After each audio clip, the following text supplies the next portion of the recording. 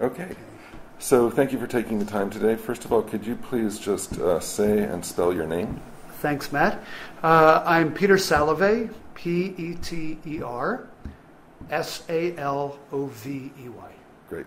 And can you uh, give me just, and you can be as elaborate as you want to, um, give me a brief autobiographical sketch of your own kind of travels through the world of higher education, Sure. the kinds of places you've been, the, the posts that you've held. Sure. My my uh, um, pathway is uh, uh, not all that complicated. Uh, I was a graduate of public uh, high school in uh, Los Angeles, although mostly attended public high school in Buffalo, suburbs of Buffalo, New York. We moved in the middle. Uh, and then I went to Stanford, uh, was completely attracted by great teaching in the psychology department. And uh, although I thought I was going, I thought I was going to be a kind of math and science kid. Those were my strongest subjects. But I also loved theater, so that I, that was what I sort of thought I was going to do in college. And then uh, did end up doing a lot of science and theater, but the teaching in psychology uh, and sociology were so compelling that it kind of attracted me, uh, even though they were not areas that I had ever studied in high school. Um, I worked for a year after college uh, in a um, for a group in Silicon Valley that taught communication skills. In uh, Silicon Valley wasn't really Silicon Valley in 1980, but uh, we went into companies like Xerox and Apple in the early days and taught communications, which for me personally was mostly I, was a writing teacher, and uh, that got that sort of got me excited about teaching, and uh, enjoyed teaching writing. Uh, came to Yale for graduate school in psychology, was in the PhD program in clinical psychology, which actually, although it educates you to be a scientist, you also get clinical training and can practice. But when I came out, I was much more of a social psychologist studying interpersonal behavior and really went on the job market for academic jobs in social psychology.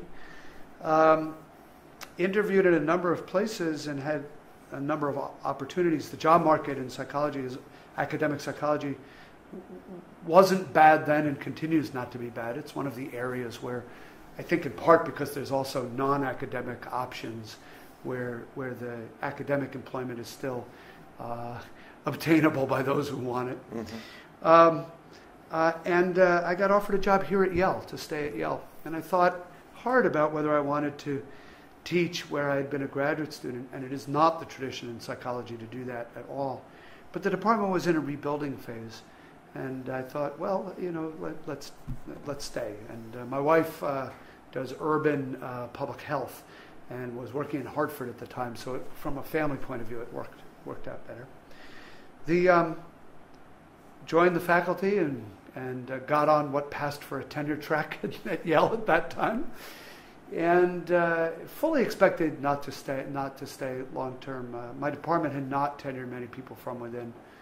Uh, the, the, I started in, in I started on the faculty in '86, and the last case had been in the late '70s, and um, it, you know we, we, the expectation was you weren't going to stay. Uh, it, it worked out. And uh, a few years after, so I was tenured. I served as the director of graduate studies for many of those years after I was tenured. Enjoyed. It was interesting. I enjoyed teaching undergraduates. I taught the introductory psychology course for many years, uh, and really tried to model the great teaching that attracted me to psychology. Viewed it, viewed teaching as not really filling buckets, but very much as lighting fires. Uh, my goal was to get students who never thought they were going to take another psychology course to think about taking another psychology course, and I almost didn't care if they remembered names, dates, and, and that just wasn't wasn't for me the issue. I did want them to learn how to think the way a psychologist thinks, which is different. Uh, you know, it's empirically oriented field. It is a positivist uh, a mindset, and um, you know, what does that mean? And also, what are its limitations? Um, as the um, senior generation in my department began to retire, uh, I, I was sort of on the front end of the younger generation and, and was asked to chair my department in 2000. Um, that was the first time I ever gave any thought to academic leadership. Uh, chairing the department was a lot of fun because we were rebuilding, we were hiring. Uh, there was also many things to fix that didn't require. I, hate the phrase, but they were low-hanging fruit. Mm-hmm. Uh, we could fix them. You know, how could we have a more attractive seminar room? Uh, how could we um, uh, put down on paper our expectations for graduate students? Um, how could we uh, have a hiring process that would most uh, that would maximize the chances that we would further diversify our faculty? That that one is not so low hanging. That's a challenge, but but the idea was there were projects to work on immediately, and sort of jumped in and worked on them. About uh, two and a half years of chairing uh, and uh, dominoes started to fall on the Yale administration. Susan Hockfield moved into moved from the graduate school dean's office to the provost's office because Alison Richard became the provost, became vice rector at uh, vice chancellor at uh, Cambridge, and all of a sudden Rick Levin needed a dean of the graduate school, and he called me up and he said, um, "You know, Peter." Uh, uh, you're chairing the department. It seems to be going well I need someone to step in pretty quickly. And uh, would you think about it? Well, it was December 24th, and he needed somebody for the spring semester. And I said to him, Well, let me go home. We're closing up for the winter break. Let me go home, talk about it with my family. I'll come back when Yale reopens on January 3rd and give you an answer. And Rick said, Why don't you go home and have lunch with Marta and come back at 2 o'clock and give me your answer? And so I did that said yes. And I can't say it was very planful or, you know, and I decided I would try it. And what I found is that being a dean, um, and, and after deaning the grad school for 18 months, I was dean of the college for about four and a half years. A dean was a liberal education all over again. Uh, you know, I was in the Hall of Graduate Studies at first with faculty from American Studies and from history and from various language programs and, and you know just the random interactions in the hall the occasionally dropping in on somebody's colloquium it was eye-opening and i realized that after all those years in psychology which i loved and still love um, i had become the kind of narrow academic that i never wanted to be i wanted to be a generalist i wanted to i wanted to be i wanted to cross boundaries and that surprisingly to be frank being a dean because there was so much interaction with scholars from so many fields that I didn't know anything about. That was that that was that re-education and opportunity to become more of a generalist again. I kept my lab going. I still kept a few, uh, uh, continue to mentor students, graduate students. Had a few undergraduates in my lab, and really up until becoming president, kept that all going. We were funded uh, by NIH. Uh, but I but I kind of did that one day a week, and uh, and uh, uh, others, graduate students, postdocs, research faculty, kept it all going. Felt very generative, kind of mm-hmm. turning it over but keeping it going, advising it instead of doing it in the trenches. Uh, and you know, I think anybody who is a serious academic who becomes an administrator feels that tension. You, you never fully resolve it, but but I, I, was glad I could keep things going. became provost uh, when. Uh, As I recall, two days before the, it, the it was it was really amazing. Rick asked me to become provost in July. He asked me in July 2008 to start on October 1st, 2008, and September is when all hell broke loose. That was the Lehman Brothers bankruptcy. That was the drop in the markets. We knew by the time I started on October 1st that there was going to have been serious damage done to our endowment and as a result, our operating budget, since we spend five and a quarter percent of that endowment every year, and that being provost was not going to be the job I thought it was going to be. Uh, we were we were going to have to retrench, uh, or at least get through, manage through, and um, uh, essentially that's what we did for four years. And um, it wasn't easy. It was rewarding in the sense that I look now. We're going to show a small surplus in our budget this year. We're going to show a, a nice gain in our endowment this year. We had a great fundraising year this year. The corner is turned. And, and we're going to have to be, I want to position us in a way that we'll never, never have an experience like that again because we'll be prepared for it financially. Uh, and so that's going to, that's still going to require a kind of prudent mindset but, but, but I think we will have positioned the university now to, to flourish, to, to um, uh, fund new initiatives, to uh, run with the ball when we're handed it, Mm-hmm. uh, but also to be a little bit better protected uh, should we ever have downdrafts again. We want to smooth it out. It shouldn't be such a roller coaster. Um,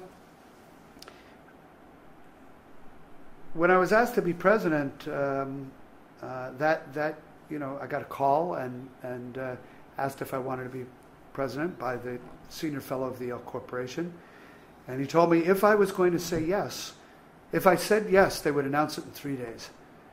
And so, uh, obviously, I had been thinking about it because I'd been interviewed a number of times, uh, but it become became very real at that point that um, I was going to have to think about Yale in a new way, in a much longer term and strategic way, and that the local issues of budget, you know, uh, equilibrium were you know were now going to be behind us, uh, although I'd have to be part of that, uh, and uh, and I realized the job of president kind of has, in its simplest form, has three bullets.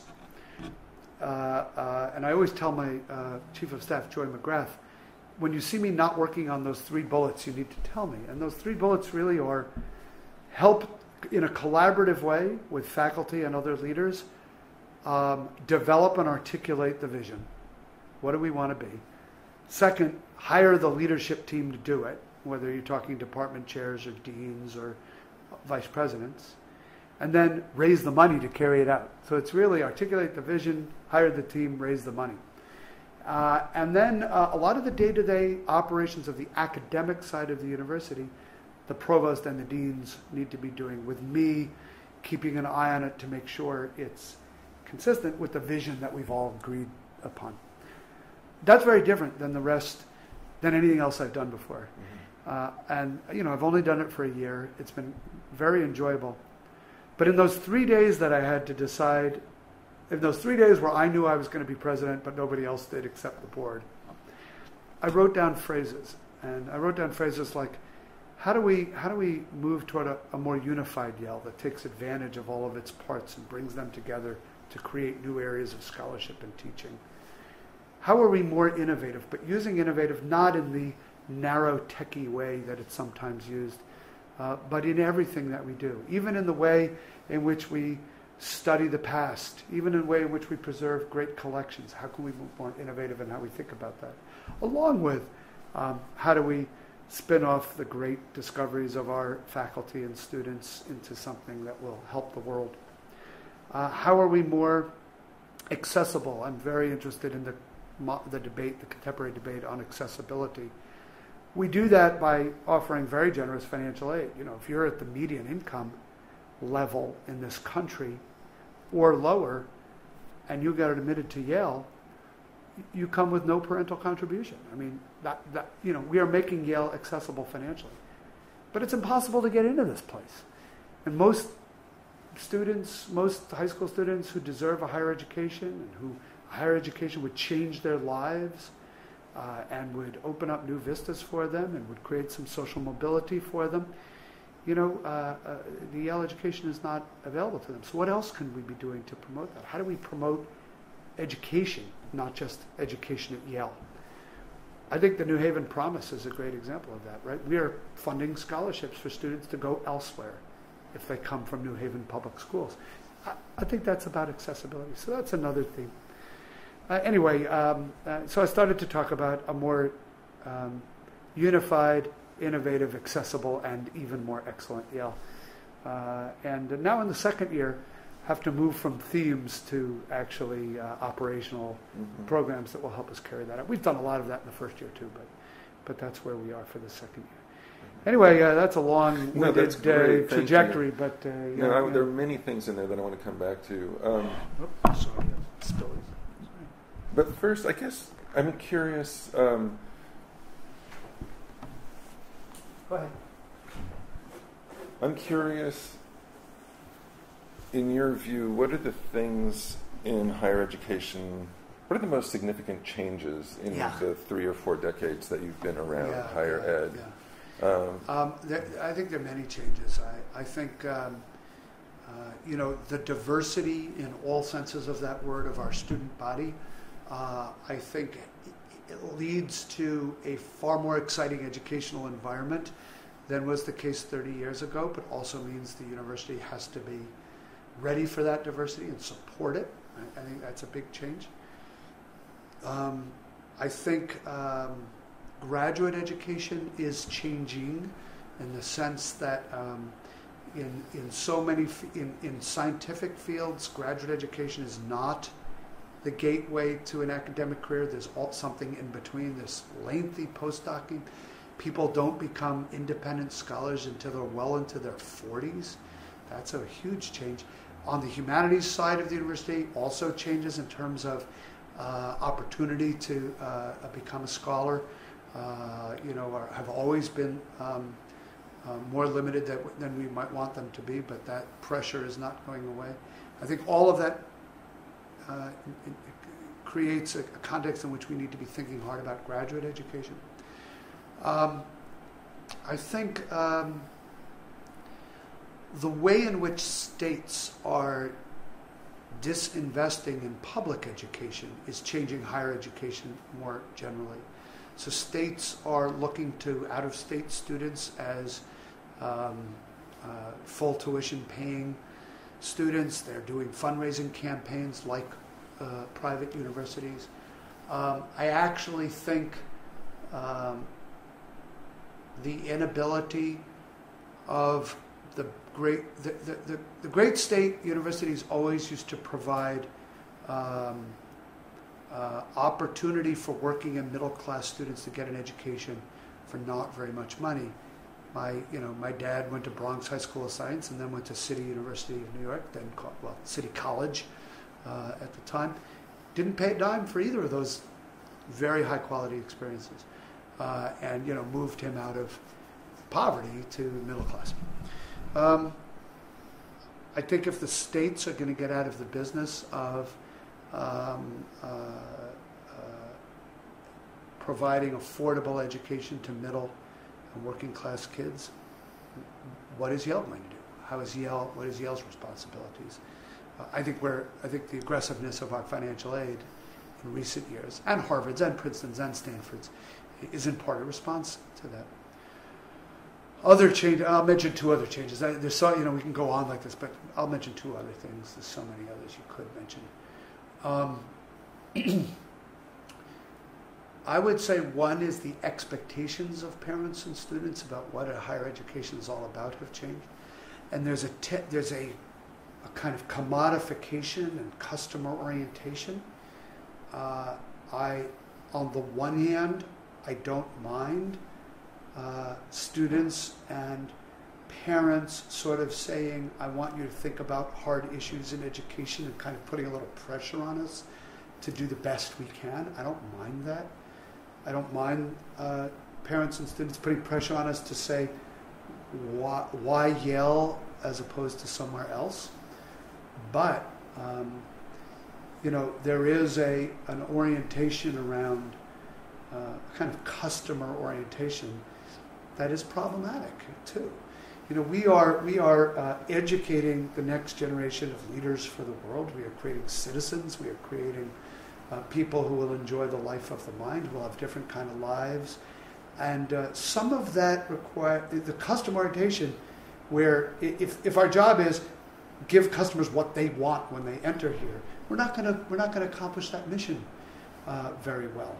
Uh, sometimes an 18 year old doesn't know what they don't know, and uh, we have to be we have to be the educators in the room, and uh, you know that tension that tension is stronger now than it's ever been, I think.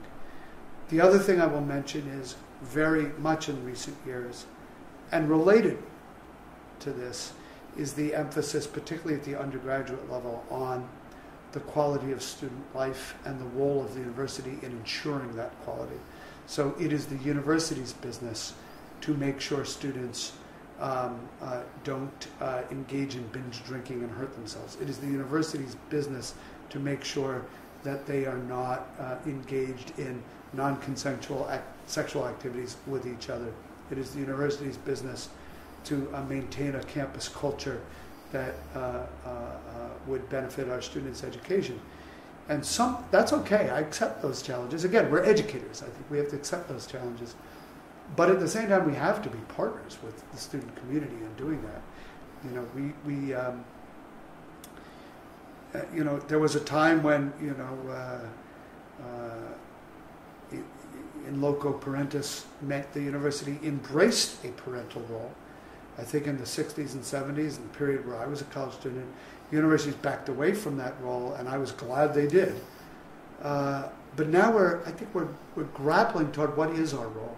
Nobody wants, uh, you know, uh, rules about student conduct, about who can be in whose room at what time, and that again. Uh, but probably the laissez-faire of the 60s and 70s isn't. We're finding it's not working. Our students come to us with different experiences, with different socialization, with different backgrounds, with different psyches, and uh, many of them are not quite ready for uh, the hands-off experience of the late 60s and 70s. And uh, so, what is our role? I think we're in the middle. We're living that right now. It's changing as we as we speak. And I, I, think first and foremost, we have to embrace our our our lives as educators in answering those kind of questions. Mm-hmm, mm-hmm. There are a bunch of things that you've just touched on that are, are related to concerns I've heard expressed um, by other educators, um, often expressed as a sense of crisis, which I'm not fully expecting you to share. Yeah. But but I mean, clearly you're grappling with a lot of the same things that people are pointing to. One, you know, is the model sustainable with with spiraling tuition costs and with the pressure on families and with the uh, at least seemingly diminishing returns of higher education, yeah. at least the, the, perception of that. You know, is it a sustainable model as as the public sphere kind of backs off of education and, and others are kind of patching things together as they can? That's one of the kind of nodes of a sense of crisis, but then that the fallout from that creates 10 others as yeah, you know exactly. the crisis for the humanities yeah, the sense of a kind of whittled down idealism of the university as a place where uh, we can um, kind of revel in the useless in, in very useful ways right? exactly. Um, i think i think uh, I, I don't think we're in crisis. I do think higher education is changing and i do think the pressures on higher education are more obvious now than they've been in the past um, and there, there's lots, there's lots of them. I think first and foremost, we have to recognize we, we just went through the, the biggest recession since the Great Depression. And recessions create a focus on a kind of uh, kind of cost benefit thinking, short term cost benefit thinking about higher education. Uh, and nowhere is that more obvious than in the incredible anxiety our students have matched only by the anxiety of their parents about employment after college. And uh, the reality is, our students do get jobs. Uh, they don't always get the jobs they want, and, and they do end up making a living. But I think we have to be careful. I am, ha- I am happy to talk about the college premium, the, the additional earnings that a, students will make, a student will make if they go to college. Uh, I'm happy to talk about the ways in which Yale can help you achieve your aspirations, whatever they are, beyond college. But I also think we can emphasize all that too much. We can create a sense in our students that the purpose of college is employment post college as opposed to the experience of college itself. Mm-hmm. Um, now, I, I often talk to students who want to uh, who imagine what they'd love to do after college is I want to go out to Silicon Valley and join the tech world and uh, you know be be a uh, be, be an entrepreneur. Uh, you know, and I hope what will happen is I'll invent something, some gizmo that will be attractive to Apple or Google or whatever. They'll buy it and they'll make me a very wealthy person. And I often talk about if that's what you want to do, I want you to think about your Yale education. I want to think about what you, you know, Yale, Yale is very proud of the fact that our commitment to the humanities and to the general skills that a liberal education provides, learning how to communicate, learning how to think critically, learning how to entertain contradictory thoughts, learning how to think in a more complex way, uh, learning how to work in teams, learning how to uh, uh, write, you know. Um, I want you to think about all of that because I think those are the perfect skills for what you want to do. I tell that student because you're going to do it in a different way. You're not. You're going to go out and you're going to build something of lasting value. You're going to build uh, a maybe a company that will employ other people, that will lift other people, uh, that will uh, uh constantly evolve to do new things as the world changes. Uh, that will not be just about inventing the next gizmo and selling it off, mm-hmm. but will build a team of people working to accomplish something for the long term. And you will still be an entrepreneur in doing that. And so I, I, I guess what I'm really saying is I think sometimes the, the dialectics are drawn too in two oppositional ways. I think you can take a great humanities education, let's say, at a place like Yale College, let's say, uh, and and have as your goal and want to be an entrepreneur in Silicon Valley, and your education will be directly relevant to that that aspiration. Um, not only that, I would argue it might give you a give you an advantage over someone whose education focused more narrowly on just the technical skills. So uh, I, mm-hmm, you know, mm-hmm. I, I, you know, I, I now. Why do we feel we have? Why do we feel that students are walking away from the humanities, and, and sometimes we feel we're in crisis or whatever? I don't think we've made this case strongly enough. I don't think we've you know, I, I think, right.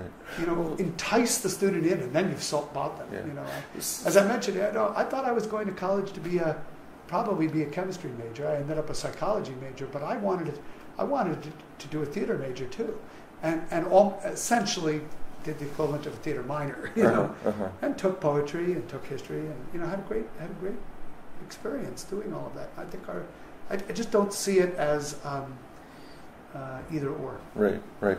Um, to come back to, to, two of the points that you just made, some of the people who I've interviewed, and at this point, um, I've interviewed a couple of deans, I've interviewed, not here, but not in the region, uh, a couple of faculty members. Um, two things you just said. One is when you were talking about the commodification and the kind of the drift towards commodification of education. Um, some of the folks that I've interviewed would say or have said that that universities have become kind of complicit in that, both in the way that they market education um, and in the way that they package some of their own practices. Um, another point that you just made about um, post crash and that the, the, um, the power of the recession and kind of orienting people to think in a particular way about education and cost benefit. Um, Andrew Ross, for example, at, at NYU would say the the crash just laid bare something that was already in place, and that universities have been hmm. kind of drifting in a cost benefit direction for three decades at that point. Um, what do you think about that? So, um, there is no doubt that the pressure, let me say it a different way. We, I certainly want the most deserving, interesting, diverse group of students that we can admit to come here that many members of that group are going to be attracted to, attracted to other places too. And so I think we do feel the pressure to help them figure out that Yale is a good fit and attract them here. I think sometimes that you know that focus on what the admissions people call yield leads to a kind of um, gilding of lilies and leads to you know the those examples that in the media look so outrageous. That you know, who has the best climbing wall, or the poshest, you know, um, uh, uh, you know, bedrooms, or the best food, and on the one hand, I don't mind trying to make college attractive to students. But that's not where I want to be investing what money we have to invest. I want to hire the best faculty. I want to have the best resources we could possibly have for research and scholarship, and I want to innovate in our teaching. And, you know, it is a sum zero budget. You have a certain amount you can spend every year. And I want to think hard before we gild lilies when we could be investing in, in our core mission, improving scholarship, improving teaching. And so, um, I, yes, I, you know, I wouldn't disagree that those pressures are there. What's creating them? I think I think I don't know that it originated with colleges and universities, uh, but I think we are we, we fall susceptible to them. Mhm. Uh, I would point one finger. There's probably many fingers one can point, but you know, one finger is uh, the media that perpetuates this endless focus on ratings and, And rankings. and right where they have convinced the American public, well, now the international public, that there are three, four, five places worth going to, and you know, let- American higher education. I, I believe there's about 35 college, 3,500 colleges and universities in the U.S. Number like that. There is no way that only three or four or five of them are worth going to. And yet, the focus on rankings right, sort of creates that expectations in students. So here's the, you know, here's the, the paradox of it. In when I applied to colleges, places like Yale, I think received about six, seven thousand applications, and admitted about twenty-five percent of them, maybe eight thousand applications. When uh, now it's thirty-one thousand, and we're admitting six or seven percent of them. The paradox is, and yet we're working harder to attract those ones we admit here, and we're gilding lilies and such.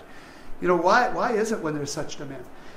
What I would say is, I, I wouldn't call it a crisis, but I would say the challenge is that um, we've scrambled up the natural processes that would allow students to find the university or college, the place in higher education that best fits their interests, their personal styles, their um, uh, the level at which they can uh, perform intellectually, um, and uh, we've scrambled that all up and focused them on too narrow a range of places and convinced them that they'll only be happy if they Right. go to just a narrow range. And then we've convinced ourselves, and then that they'll only choose us right. if we compete for it. So does the social psychologist in you say that this is something that's just it's kind of embedded in the culture of the last few decades? Yeah, I And think it's, it it's not the it university, is. but it's the culture. It's the privatization and the the kind of sense of um, well that kind of pulling back from the the idea of a common commonweal and a public sphere and trying to get the best for yourself and your kids. I, I think, uh, yeah, I think, uh, I think that's all true. Uh, I think I, I would not, I would not say that universities are not complicit. I think they may not have been knowingly complicit. That is, I think we may, you, you know, the whole idea of culture is, is you know, you, you know, you're a fish who doesn't know the water's wet. I mean, it, it, it happens. It is a product of human behavior and human, the human mind but it is transcendent. It is an emergent property. You can't, as an individual, it's very hard to change it. Uh, you know, and so, um, uh, yes, I think Mhm. I think that's true. Um, I think so. What do we do? I think we have to constantly refocus uh, our students on the good of the community, on giving, what, however you want to frame it, whatever your metaphor is whether it's you know giving back, which has a little bit of a noblesse oblige feel to it, or it's just living a life of purpose, or you know I'm Jewish, so I think about tikkun olam. You know, our our purpose. We're put. You know, I, I'm not a particularly per, uh, person with a lot of faith, but I am a person who does believe we have a purpose in life, and it's to uh, improve the world, to leave the world a better place than we found it when we entered it. Uh, you know, and, and, and, and to raise that those as the aspirations of our of our, our students too.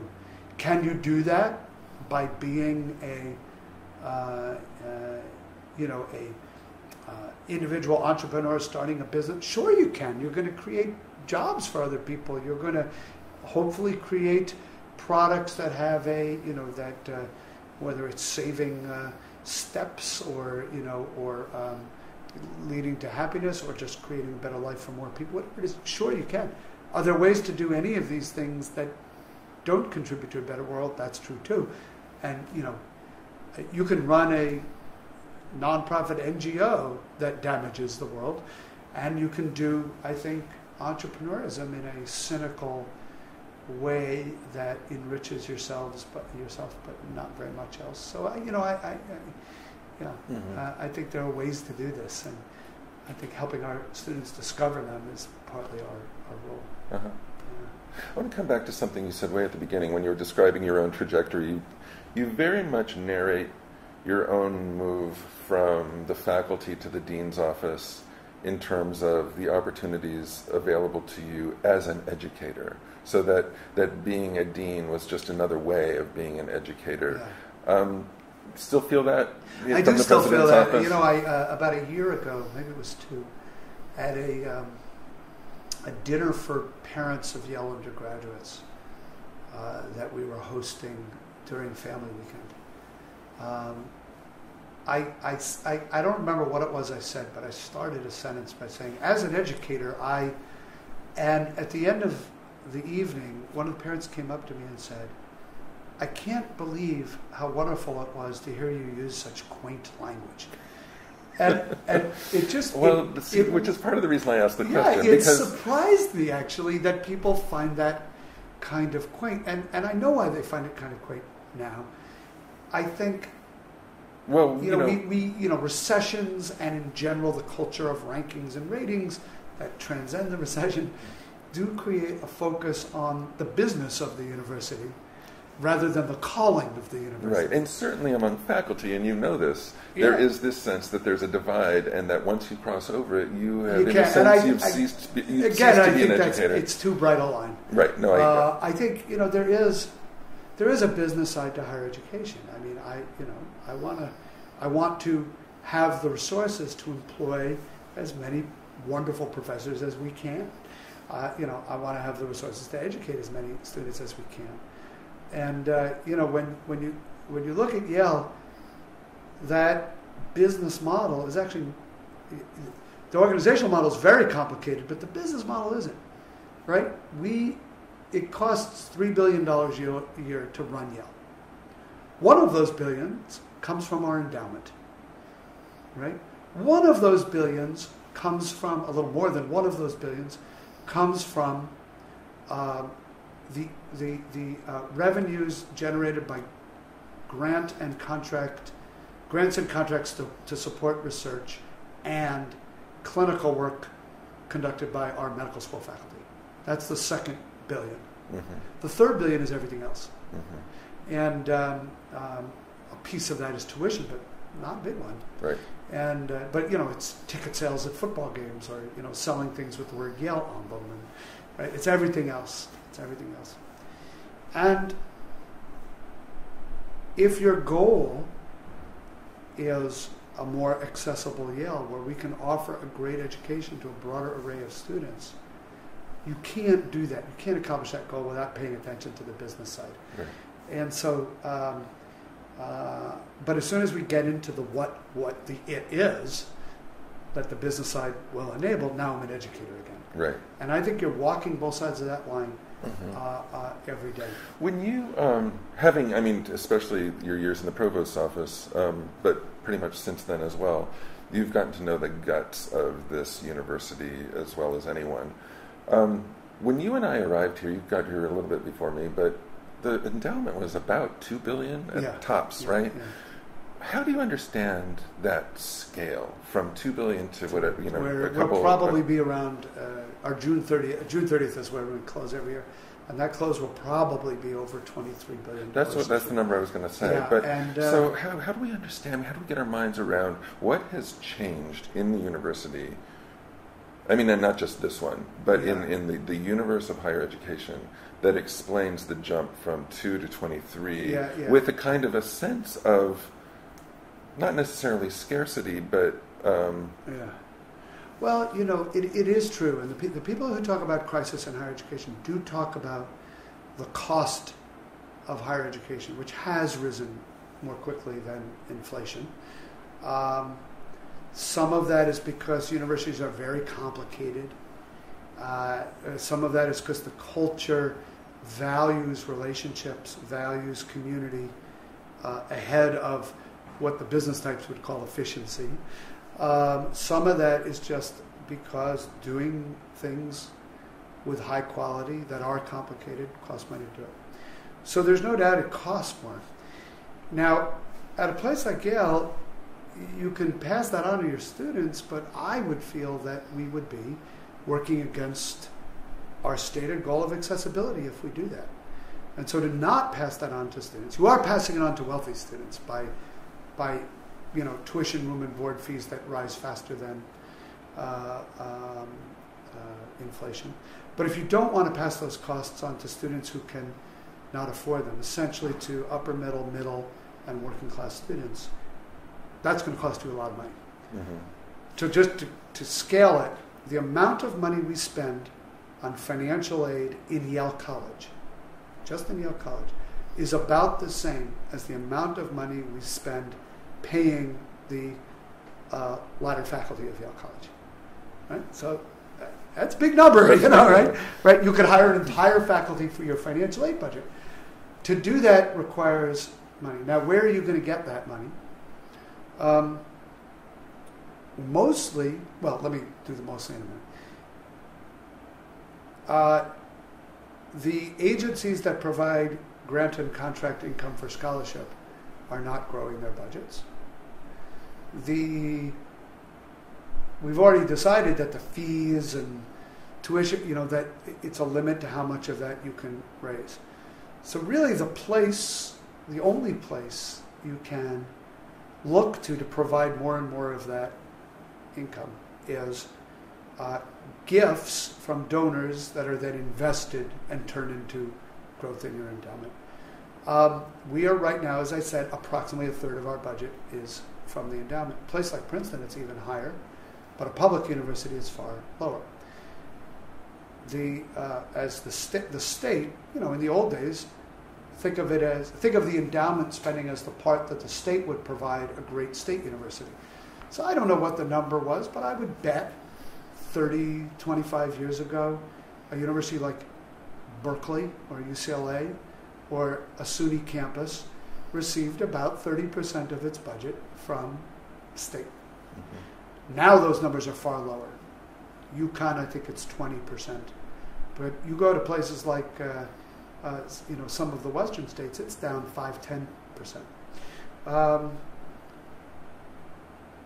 you know, for Yale, it's zero and that that 25 30 percent that you would have gotten is we're getting from our endowment. So so I don't think there's anything uh, overly mysterious about it. It, it, it. you know, it's the part that a great private university is going to. Right, and yet, you know, so now, how did it grow so much? Yeah, so that's it's you know a combination of gifts and aggressive fundraising, which all private universities are involved in, and increasingly public universities are involved in. Mm-hmm a certain amount of the experience that students have while they're on, you know, our biggest givers are by far our alumni. Uh, we, we raise far less money from corporate or foundation world. Uh, you know, it's, it's our alumni. That's who our, our bread and butter givers are. Um, you want them to have had an educational experience on this campus that leads them to then want to give back if they have the means to do it. Uh, and then it's investing those gifts. Uh, and, and, you know, those gifts are invested in uh, the, the portfolio of investments that pension funds all now invest in, and virtually all you know, universities invest in, uh, which is less and less publicly traded stocks and bonds, and more and more private equity and real estate and hedge funds and even some commodities. Um, the the goal is not to tie is to tie the future of your endowment to um, assets that don't, whose rise and fall don't necessarily correlate with each other. Unfortunately, the Great Recession of 2008 uh, and 9 showed us that when things really fall apart, they are correlated. Mm-hmm. And that's why endowment lost a lot. Uh-huh. Of course, it's why, it, eh, it, you know, uh, it's why recovery is kind of lumpy and bumpy. Mm-hmm. To go back to the other side of the ledger for a minute, if you were to look at the operating costs at Yale, say 1994 against 2014, what are the numbers that are going to just jump off the yeah, page in yeah. terms of where the growth has been? It's really interesting. So we're doing that study right now. We're doing uh, so. Our current budget system was implemented in 2001, so we have great data for 2001 let's say about ha- seven years later, 2007, seven years later, 2014. And uh, actually, uh, preparing that study, we're preparing that study now. Will be done in October. Um, I there's it's interesting. You know, um, we spend a lot more on safety and security. We spend a lot, a lot more responding to regulation. You know, you know, I'm not one of these people who and the grants, grants and contracts. And everything, research regulation, student conduct regulation, right? So uh, a good example is uh, there were two or three lawyers in the in the general counsel's office when I uh, came to Yale in 1981. There's more than 20 now. You know, they're busy people and they're mostly responding from things from the outside that impinge on Yale. I don't think anybody would have predicted that. Um, I think trying to recruit the very best faculty are the very best faculty are identified in lots of different places. It costs more than it used to. There's a what's very you know here again, you know traditional economics doesn't explain it very well there's lots of PhDs being produced, but you want the very best. And I, you know, almost every time we're recruiting faculty, either Princeton or Harvard or Stanford or Chicago is also recruiting the very same person. And so it's, it's a constrained market. That drives up costs. Um, we deferred, Yale, that's general in higher education. Yale had a specific problem with buildings. We were an old campus that hadn't properly maintained its buildings.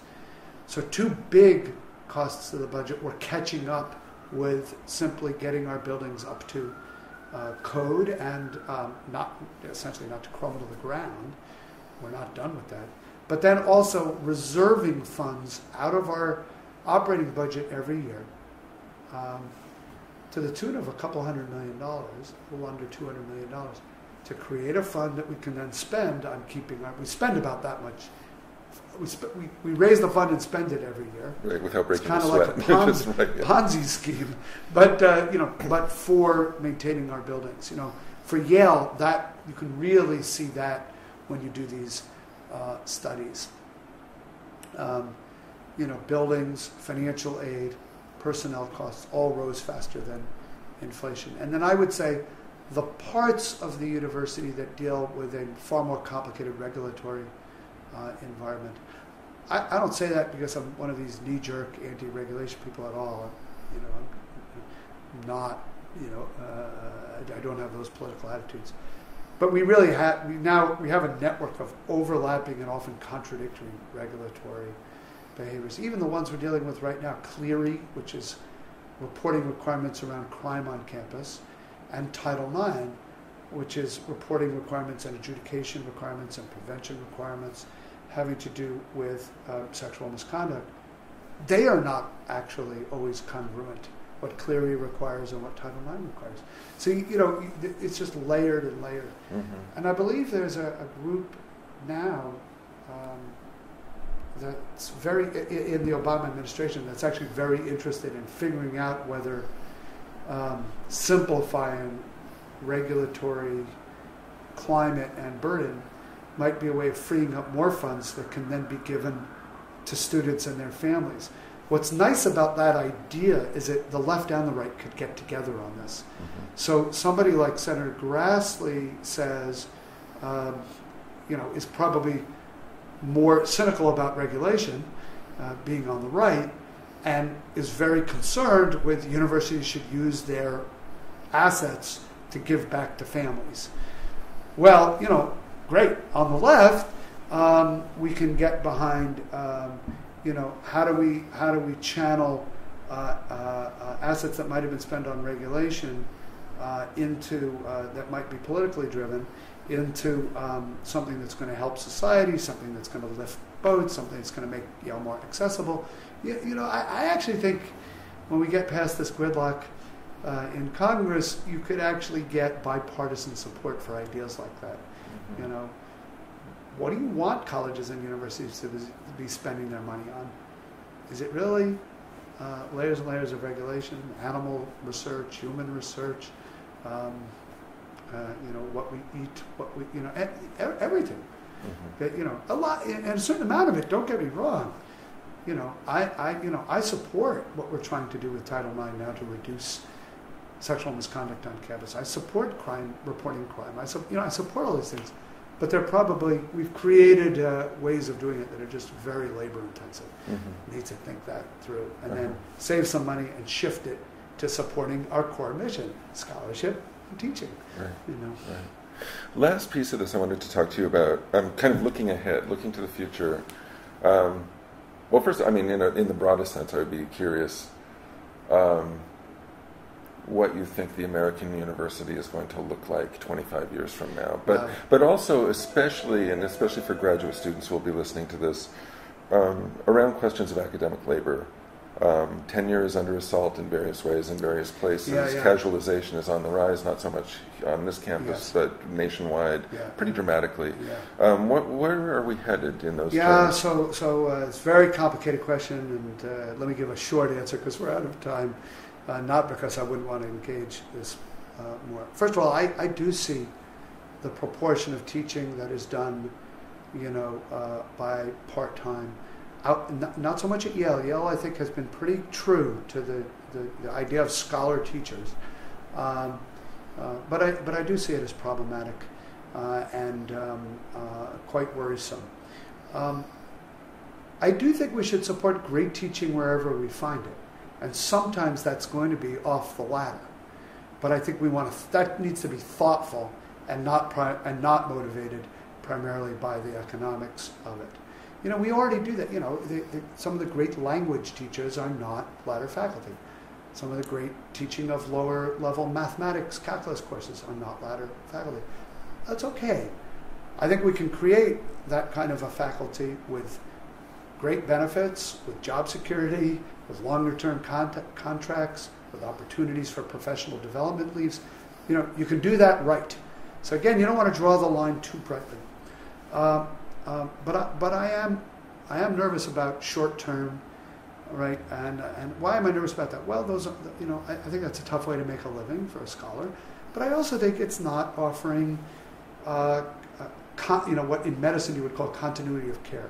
That is, you want students to be advised and mentored over time. It requires relationship building. It's more than just dropping into a classroom, teaching, and, and disappearing. Um, I think what we do in a classroom is going to look different 25 years from now than now. We're going to, we are going to, you know, I, I think we are going to f- have less formal lecturing. We are going to flip that, turn that into, use technology to turn that into homework. But I think as educators, we are all still going to be in the classroom. We're going to just be doing different kinds of things, much more active collaboration with our students. You know, I taught intro psych behind a podium. I wouldn't teach it that way even now. But I would but the need for me to teach intro psych would still be there. In fact, I'd probably want to teach it in smaller groups and, and in, a, in a more engaged way, which uh, so so do I think the jobs are going to disappear? No. Do I think they're going to change? Yes. Uh, I know I have to get on the phone. Yeah. Um, but uh, so this is a bit, uh, another bigger issue. Uh, I'm more optimistic. I think we're in a moment of transition, and that's why the system is being stressed. Mhm. Uh, I, I hope we'll come out the other side in the right way. I think the very best universities will. The question is where will. There's 30, as I said, if there if there are 35 colleges and universities, and you know wh- where will many of them come out? And I am concerned about that. Thank you so Uh, much. thanks, Matt. Thank you so Uh, much. thanks, Matt. Thank you so Uh, much. thanks, Matt. Thank you so Uh, much. thanks, Matt. Thank you so Uh, much. thanks, Matt. Thank you so Uh, much. thanks, Matt.